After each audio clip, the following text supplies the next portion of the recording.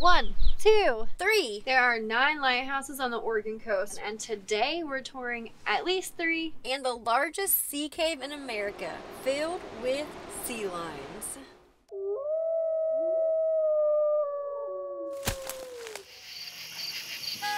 We're Zach and Ally, and you're watching Nomadic Habits.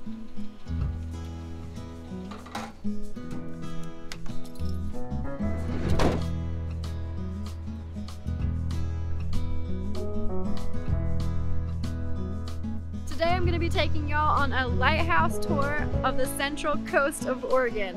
That's a tongue, twi tongue twister. but today I have somebody very special with me.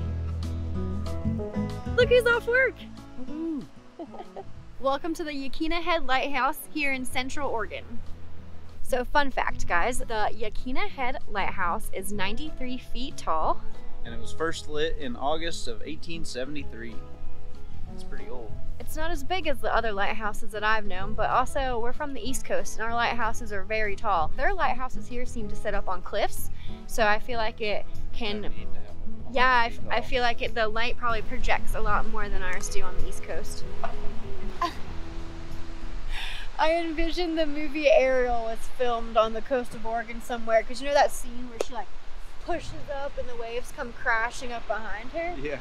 That's like this is the only place I've ever seen that I feel like that scene could actually happen. Okay, so it's not as magical, but close enough.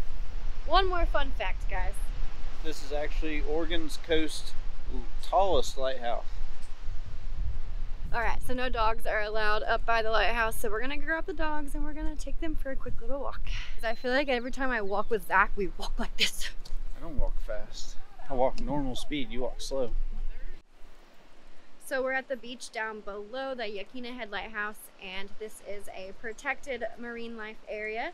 They've got tide pools that you can explore, and it's actually a cobblestone beach, which is very cool. it sounds so weird. I feel very uncoordinated right now.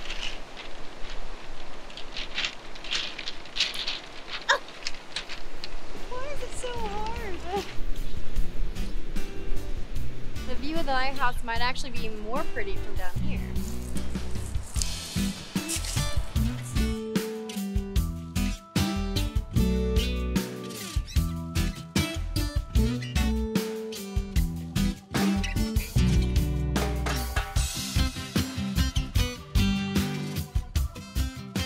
The National Park Ranger said that the tide was going low, but guys, these waves are ginormous!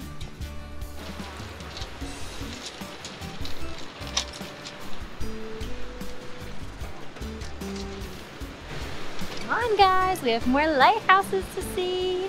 Not your typical lighthouse, but the Yaquina Bay Lighthouse was established in 1871. It looks haunted. Believed to be the oldest structure in Newport, Oregon, the Yaquina Bay Lighthouse is the only existing Oregon lighthouse with its living quarters attached. As the only historic wooden Oregon lighthouse still standing, it was decommissioned in 1874 and has since been restored and furnished with items from its time. This lighthouse is free to the public to tour and sits on 32 acres of land now owned and operated by the state for visitors to enjoy. This lighthouse is very old, very cool, but the coolest thing about it is you actually get to tour the inside. Now that we've toured the lighthouse and learned all about its history, we're gonna head to the next location. It is not a lighthouse, but I keep seeing signs for it, and today is the day that we go check it out.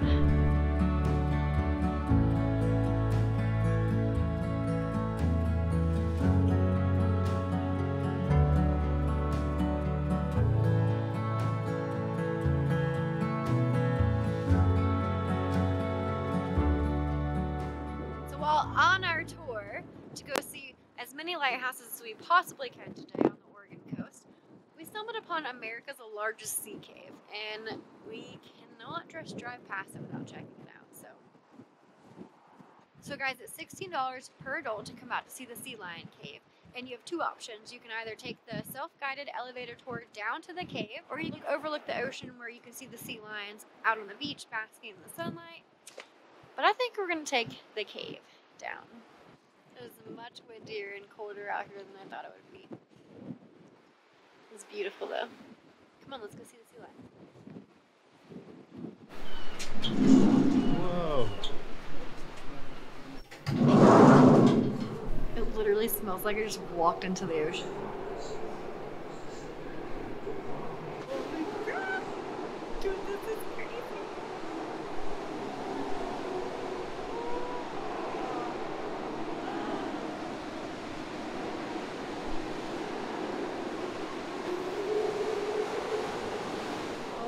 My gosh. Literally the coolest thing I think I've ever seen in my entire life. There are like hundreds of sea lions down there just hanging out. You can hear them making eerie elephant sounding noise.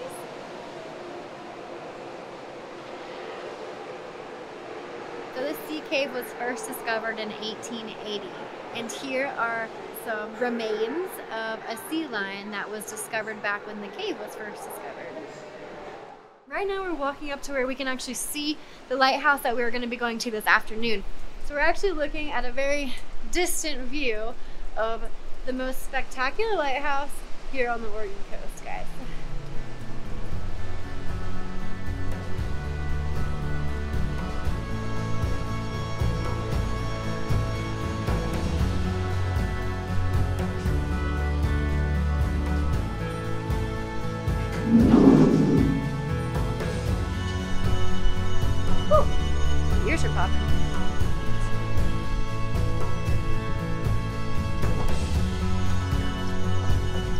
We are in Florence and we're gonna go grab a late lunch, early dinner, I guess you could say, at the Beachcomber Pub. And guess what, guys?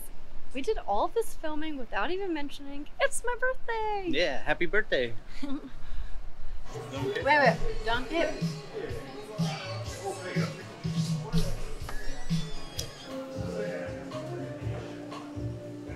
Oh god. I am so full right now. Oh my gosh. Whew. I'm so full, I'm tired. We're gonna try and catch the last lighthouse of the night Yep. right here at sunset. Hopefully it'll be alright at sunset because it has gotten a little bit cloudy. It's so gotten super cloudy. I'm kind of worried. I don't think we're gonna catch this at sunset like we thought we would. Yeah, I think it'll still be pretty no matter what. Welcome to the Heceta Head Lighthouse. It is phenomenal, especially here at sunset.